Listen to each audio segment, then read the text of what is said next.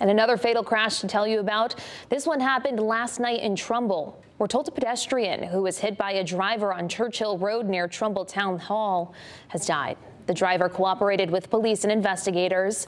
They say poor lighting in that area combined with rainy weather and poor visibility are considered contributing factors in this crash. No charges have been filed.